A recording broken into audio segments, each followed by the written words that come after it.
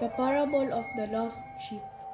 Jesus told a story. He said, Suppose one of you has 100 sheep and lost one of them. Won't he leave the 99 in the in the open country? Won't he go and look for the one lost sheep until he find it? When he finds it, be will joyful, put it on his shoulders and go home. Then he will call his friends and neighbors. He will say, Be joyful with me.